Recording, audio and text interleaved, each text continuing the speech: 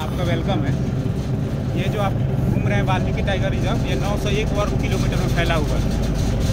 इसके बगल में आपको नेशनल पार्क चितवन में है नेपाल में। और इसके उत्तर साइड में आपको सोगी बरवा सेंचुरी है। दोनों टाइगर रिज़र्व के बीच में ये वाल्मीकि टाइगर रिज़र्व है। नौ सौ इंडिया में है कि नेपाल का मिला के नहीं नहीं सिर्फ़ अपना पीटिया इसमें दो परमंडल है पहला में आपको ममुराहा गोवर्धना और रैया और दूसरा दूसरा जो हम आप लोग घूम रहे हैं बरसना कितना किलोमीटर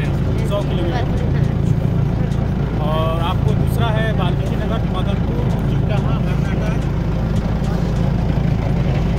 वहाँ भी है। इनका नाम तो कनेक्ट वहाँ वो घूमने का रेंज में आता है दो दो रेंज है ना।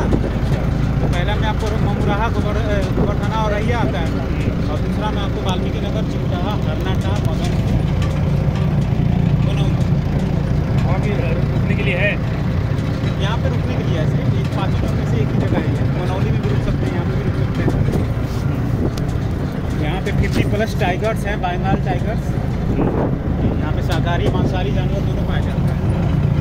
आपको शाकाहारी मांसाहारी दोनों है।